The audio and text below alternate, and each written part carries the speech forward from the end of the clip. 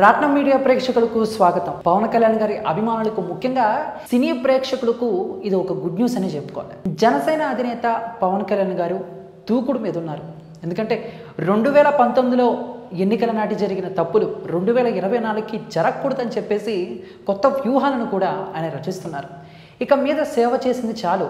ఇక మీద రాజకీయాలు మొదలు పెడతా అని కూడా ఆయన స్టేట్మెంట్ ఇచ్చారు. ఇక దీంతో వంగవీటి రాధా గారు జనసేనలో జాయిన్ అవటమే మేము రాజకీయం స్టార్ట్ చేసినట్టు అని చెప్పేసి అభిమానులు వాళ్ళ అభిప్రాయాన్ని వ్యక్తపరుస్తున్నారు.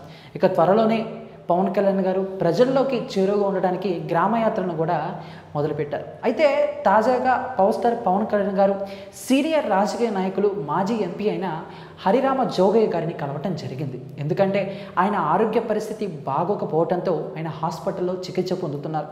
ఇక ఆయన కలిసిన పవన్ కళ్యాణ్ గారు ఆయన ఆరోగ్యంపై ఆరా తీశారు. అంతేకాకుండా ఆయన త్వరగా కోలుకోవాలని కూడా ఆకాంక్షించారు. సో రామజోగయ్య గారు ఇది వరకు ప్రజారాజ్యం పార్టీలో జాయిన్ అయ్యి ఆ పార్టీకి చిరంజీవి గారికి ఎంతో సపోర్టుగా ఉండటం జరిగింది. ఆ తర్వాత తాజాగా జనసేన పార్టీలో కూడా జాయిన్ అయ్యారు. అయితే ఈ విధంగా ఆయన ఆరోగ్య పరిస్థితుల మీద హాస్పిటల్లో రామజోగయ్య గారిని కలిసిన పవన్ కళ్యాణ్ గారు ఒక కీలక ప్రకటన చేశారు. అదేంటంటే త్వరలో జనసేన నేతృత్వంలో పాలకులలో ఎస్వి రంగారావు గారి పేరు మీద స్మారక ఫిల్మ్ ఇన్స్టిట్యూట్ని స్థాపించబోతున్నారట. దీనికి చైర్మన్గా రామజోగయ్య గారిని నిర్మించారు పవన్ కళ్యాణ్ గారు. అంతేకాకుండా రాజం వన్నరెడ్డి గారు బన్నీ వాసు గారు కూడా నిర్వహణ బాధ్యతలు కూడా తీసుకున్నారు. మొత్తం మీద ఈ ఇన్స్టిట్యూట్కి సంబంధించిన పనులు కూడా చకచక జరుగుతున్నాయి. అయితే దీంట్లో నటనకి దర్శకత్వానికి సంబంధించి అన్నిటికీ కూడా శిక్షణ ఇస్తారు.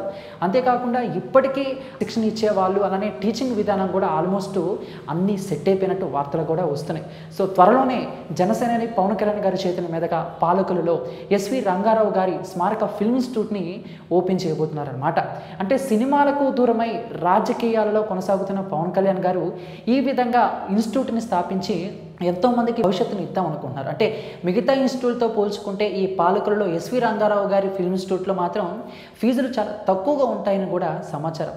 ఇదండి మొత్తం మీద ఇలా జనసేన నేతృత్వంలో పవన్ కళ్యాణ్ గారు ఒక మహానటుడి పేరుతో ఫిల్మ్ స్టూట్ అయితే పాలకులలో ప్రారంభించారు.